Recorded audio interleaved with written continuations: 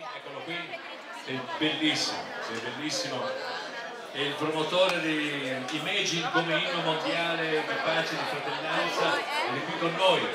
È, una, è, un progetto che stiamo portando avanti, che sta portando lui, ha portato sul palcoscenico e noi lo aiutiamo e collaboriamo con lui per portare avanti questa iniziativa che è molto bella. C'è bisogno di pace e fratellanza in questo pianeta martoriato dai problemi, però ce la faremo, ce la possiamo fare, io sono fiducioso.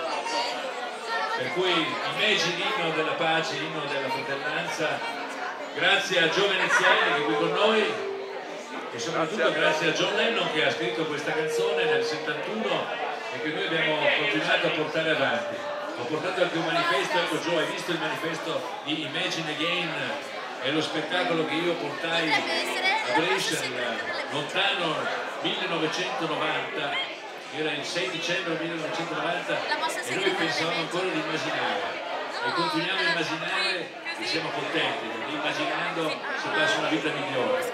Anche perché se uno pensa solo alla realtà dico non immaginiamo, si può immaginare di essere anche felici e poi magari ti capita di diventarlo davvero cui io ho la mia bambina lì che non mi fa più immaginare niente perché sono sempre davanti agli occhi. Alice, perché lei è Alice, mia moglie Alice e sapete chi sono io? Io sono il paese delle meraviglie. Ragazzi, applauso per questa mia puntata. Grazie, grazie, siete troppo gentili grazie, d'altronde se avessi avuto una moglie che non si chiamava Alice io non sarei stato il paese delle meraviglie. Però avrei avuto forse un gatto e non sarebbe stato questo gatto vabbè. Ci ha messo tre anni. Siamo pronti con Annalisa Mazzolari. Poi vorrei ringraziare anche Sassà Massarelli, grande musicista e grande e fantastico amico. Ok, un applauso a Sassà.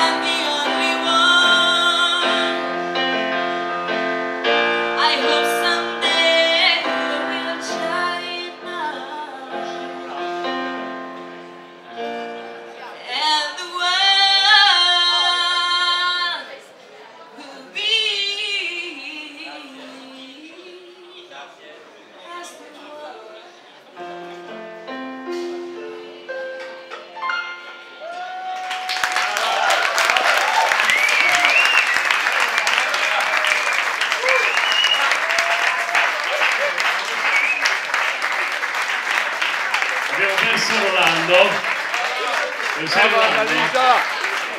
Grande! Ancora un applauso per Elisa Mazzolari che anche oggi in tv si è esibito in, questo, in questa performance di Mage. Allora io pregherei ancora il Lucchesi di tornare in postazione perché fra poco avremo la sorpresa in mancanza di Rolando tocca a me che faccio tutti i giorni presentare